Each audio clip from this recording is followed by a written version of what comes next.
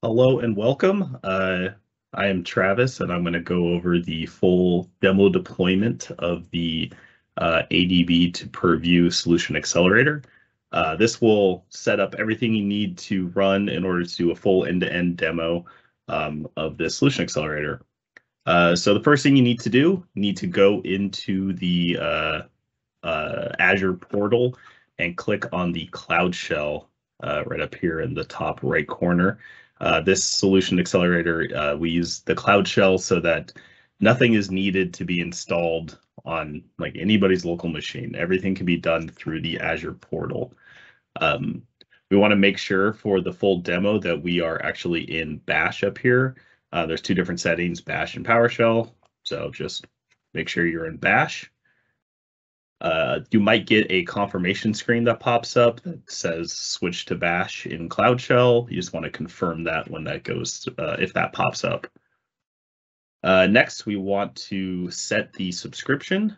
Um, so i have my commands off on the side so i'll go ahead and copy and paste those over.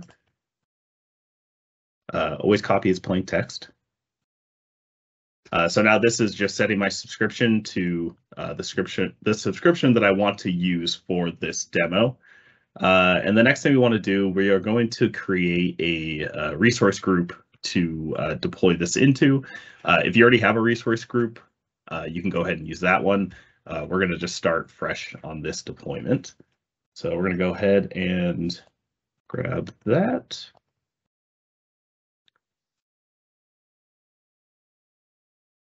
Uh, all right, so this resource group should be uh, all created and ready to go for the deployment. Um, next, we are going to clone the repository.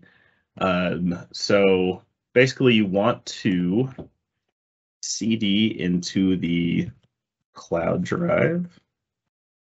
Um, and that basically just sets the destination to uh, the cloud drive where we want to uh, load up the repo. Um, and then we are going to clone this repo by running the git clone action and then just pointing it to uh, the solution accelerator uh, git URL. So we are going to go ahead and do that. Uh, we do need to log in for this right now. So we're going to go ahead. I'm going to go ahead and log in. Uh, if you get prompted with this password, uh, this is going to be the personal access token. Um, so go ahead and copy and paste that over. Uh, the GitHub personal access token, I should say. Now, when you paste that over, it won't show up um, because it is a access token and it's um, something you want to keep secret.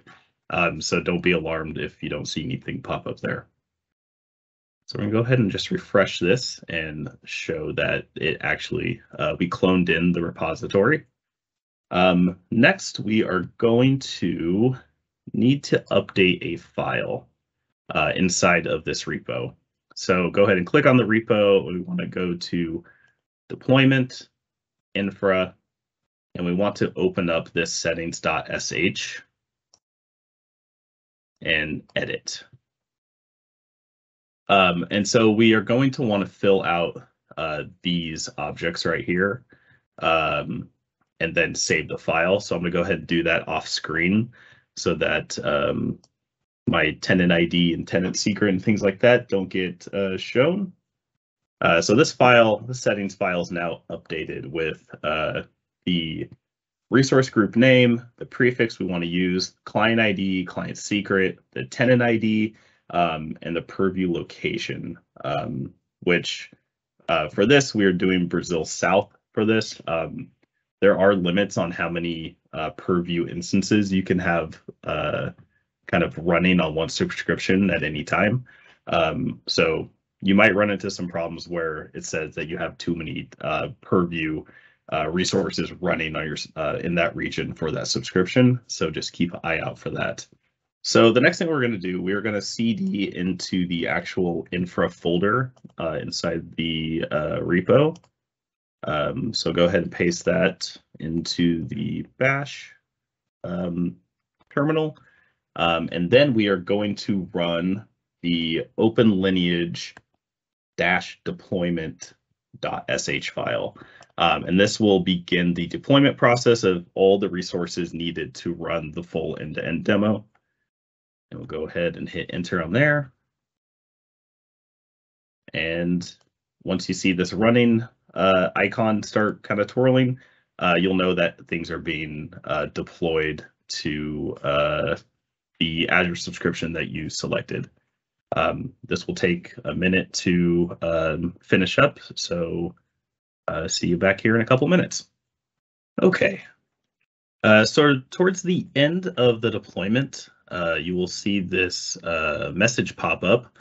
Um, and basically you need to add your client ID to the uh, Purview account uh, that was just created uh, under the data curator role. Uh, so we're going to go ahead and do that right now. Um, we are in the resource group that we deployed. So click on the Purview account and then open Microsoft Purview. And then we're going to go to uh, data map, uh, view details, role assignments, and then we're going to go to data curators and then click the little plus, and then we are going to put in the um, the ID right here and then add it. So give me just one second and I will do that. Great. So now we are going to go back to uh, the deployment and then hit enter. And next, it's going to upload uh, our types uh, into uh, our Purview account. Uh, and there you go. Now the main deployment of everything is uh, is done and ready to do an end-to-end -end, demo.